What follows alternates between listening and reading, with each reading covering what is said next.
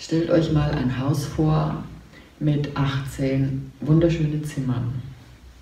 Ein Zimmer ist schöner als das andere. Und ihr wohnt, das ist vielleicht so ein Schloss, könnte man sagen. Ihr wohnt unten in, in einem wunderschönen Zimmer, wohnt ihr, aber viele Zimmer habt ihr noch gar nicht besucht. 18 Zimmer ist ganz schön viel. Man muss die auch pflegen und ja.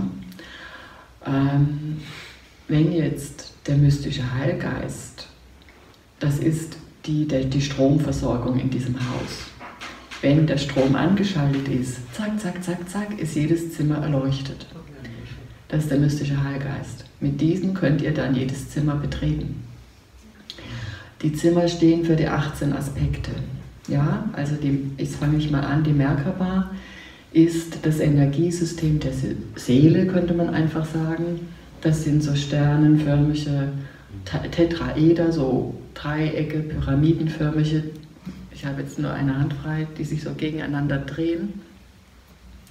Und darin sind die Aspekte verteilt. Und die Aspekte kann man sich vorstellen wie Energiekugeln. Und diese Energiekugeln schwingen um uns herum. Die sind vorhanden und in, in jeder Energiekugel, da sagt man Aspekt dazu, sind Fähigkeiten, Dinge, mit denen wir uns weiterentwickeln können. Aber wenn wir kein Mittel haben, dort reinzugehen oder nichts aktiviert ist, dann nützen die uns nicht. Dann sind diese Zimmer unbenutzt. Ja, es ist das Licht dunkel. Und wenn jetzt das Licht angeknipst wird durch den mystischen Heilgeist, kannst du schon mal rein in das Zimmer. Und dann gilt es, das Zimmer zu entdecken, was ist denn da alles drin. Das ist noch zugedeckt, die Möbel sind noch mit äh, Tüchern verhüllt und so. Aber es ist schon mal Licht und du guckst dann, äh, je mehr Licht wird, dann ziehst du vielleicht eine Decke weg und erkennst, oh, das kann ich da machen, diese Fähigkeit habe ich da. Also das ist so eine ganz große Aktivierung, die ihr bekommt mit dem mystischen Heilgeist. Das ist die Chance, wirklich Zugang zu den ganzen Fähigkeiten zu haben, die man hat. Es passiert nicht sofort, weil diese Energie möchte genährt werden, aber das ist ein sehr, sehr großer Schritt, das zu tun und zu entdecken, was ist alles in mir, was kann ich damit machen, wie kann ich mich weiterentwickeln. Hast du eine Frage an mich? Okay. ja. Hat es jetzt jeder verstanden? Hat jemand. Super. Mhm. Ja. Nur ja, das, ähm, Weil, wie man die Energie nährt. Ne, wie eben befassen mit und.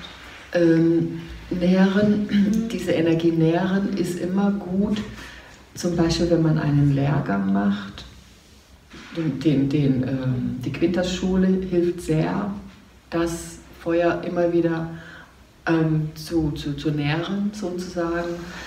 Es sind auch einige äh, auf YouTube-Videos sind auch ganz gut, bloß sind die niemals so intensiv, weil die nicht persönlich sind. Mhm. Ne?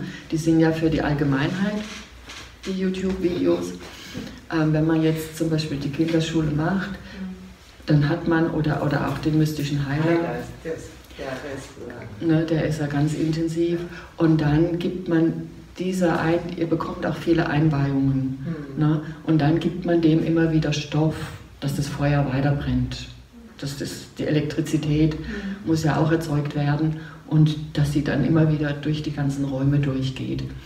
Also es ist einfach die Chance, dass ihr äh, das für euch dann weiterentwickelt. Mhm. Und dafür ist es heute und morgen dann, morgen kommt ein anderes Thema, aber das, wir profitieren sowieso dann. Ne? Aber das ist, deswegen ist der Tag heute sehr, sehr, sehr wichtig.